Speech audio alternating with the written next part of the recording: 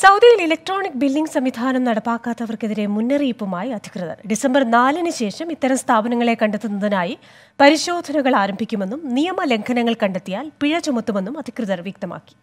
സൗദിയിൽ electronic billing രീതി നടപ്പാക്കാത്തവർക്കെതിരെയാണ് അധികൃതരുടെ മുന്നറിയിപ്പ്. നിയമ ലംഘനങ്ങൾ കണ്ടെത്തുന്നതിനായി ജക്കാത്ത് ടാക്സ് ആൻഡ് കസ്റ്റംസ് അതോറിറ്റിയുടെ നേതൃത്വത്തിൽ ഡിസംബർ നാലിന് ശേഷം പരിശോധനകൾ ആരംഭിക്കും. കൃത്രിമത്വം കാണിക്കുന്നവർക്ക് പതിനായിരം റിയാലായിരിക്കും പിഴ.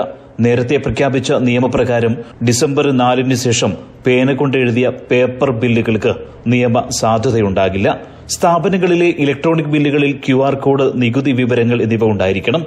ഇലക്ട്രോണിക് ബില്ലിംഗ് ഇല്ലാത്തവർക്ക് ആദ്യ തവണ അയ്യായിരം റിയാലാണ് പിഴ.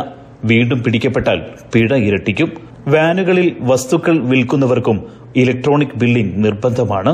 പുതിയ രീതി നടപ്പാക്കുന്നതോടെ നികുതി വെട്ടിപ്പ് തടയാനാകുമെന്നാണ് അതോറിറ്റിയുടെ പ്രതീക്ഷ. Twenty four Dammam.